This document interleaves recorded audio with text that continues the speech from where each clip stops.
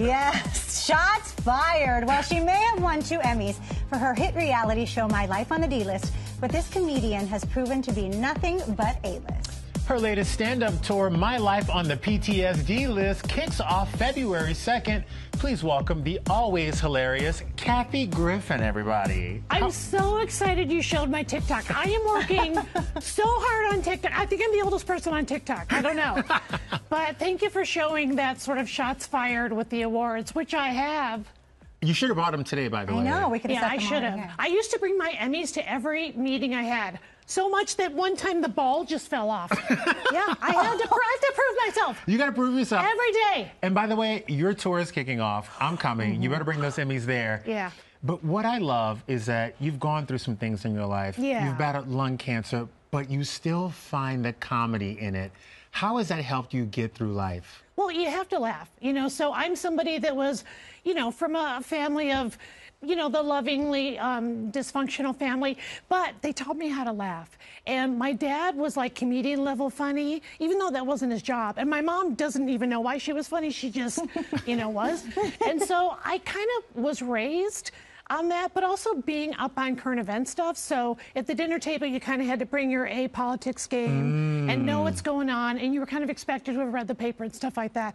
But as far as humor getting me through, like the cancer, that's I'll tell you what's been challenging is it changed the pitch of my voice a little bit, and I'm like kind of self-conscious about it. So. oh, and you shouldn't be, by Yeah, the way. absolutely no, you not. should Okay. not be. No, no, all right, no. thank you. Because um, can you guys come on the road with me at all four Absolutely. cities? totally. Hair and makeup. Good. Hair and You makeup. Definitely want to be in Omaha, Nebraska in February because I thought this out. But no, you got to laugh at everything. And I, I feel like when it comes to laughter, at least about myself, everything's on the table. Everything's, I got to make fun of myself first. 100%. I 100% agree with you. That's my motto in life, too. So earlier in the show, we mentioned that it's been 17 years since the infamous photo of Lindsay, Britney, and uh, Paris, yes. in the car. And you talked a a lot about that in your stand It up. Was the cover of Time magazine. Yes. It was so a big deal. Are you, can you believe they're moms now? I can't, not only can I not believe their moms, because of course it ages me, but I'm actually going to Paris Hilton's Christmas party. Uh, Okay, full circle moment. I'm about to say, hold on. How are you getting past security? Exactly.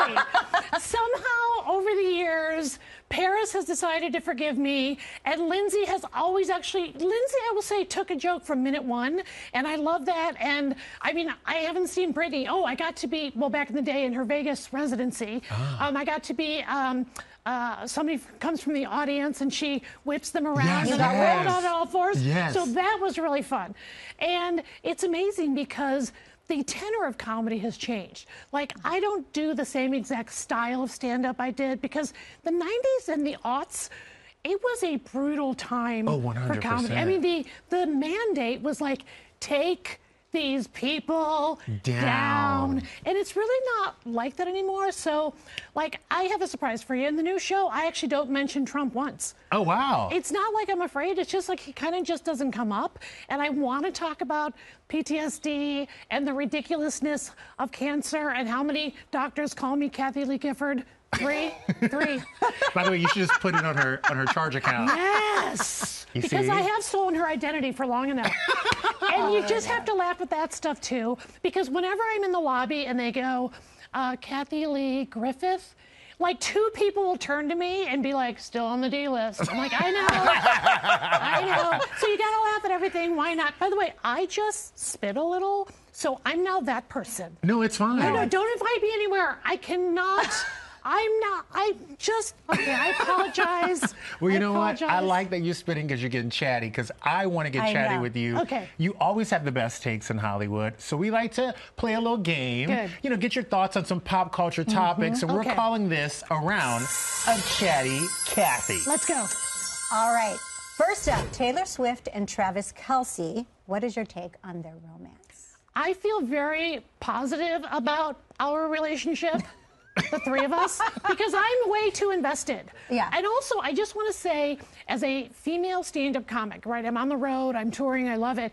And her being a musician, what I think is really great is the way he shows up for her has never been done. So when I think about the greats, the Chers and the Stevie Nickses, you never heard of like a football player going to their concert are- and cheer, right? You are Those correct. ladies didn't have that grace. And I think that's one of the reasons so many women are actually pulling for this relationship. I love it. Well, another relationship we want to talk about is Kim Kardashian's mm-hmm. push-up bra Yeah. With her the nipples. nipples. It's sold out online. Yeah. Did you get one? Well, I bought every one. So I'm the reason. Also, I'm going to get extender nipples because I'd like them to come out about yay far and knock over like things on top of the dining table. Just knock over my coffee in the morning. Sorry. And you should have them lactate too. Yeah, Right? and then I should sue her and own the company. I have a dream. You have a dream. All right, Dolly Parton shocking America uh-huh. when she wore this Dallas Cowboy cheerleader uniform at halftime. What did you think? Not enough. Not enough. Next time I want a thong and pasties, and I want them to twirl like this. No, she is a national treasure for a reason. She does have an amazing figure, but it's the fact that she did it and had so much fun doing it, and once again, always laughs at herself. I thought it was an amazing moment, frankly, even for sports. But for entertainment, I thought it was a great moment. And she's going to keep doing cool stuff because she can't help it. I love that. Well, I want to talk more about my life on the PTSD list. Yes. Great And name, by the way. It's so great. Um, you don't hold back when you're talking about other celebrities in your stand-up. Right. Who should be scared? I would say maybe um, Kanye might be a little nervous to show because I'm watching his travels. I was, saw the video of him. I think it was on TikTok where he's like playing music really loud in a tent in the middle of the desert. Okay. And his like guys from like seven miles down the road in the desert are like, it's too loud. and so um, he kind of is somebody that pops up in the news that I watch for.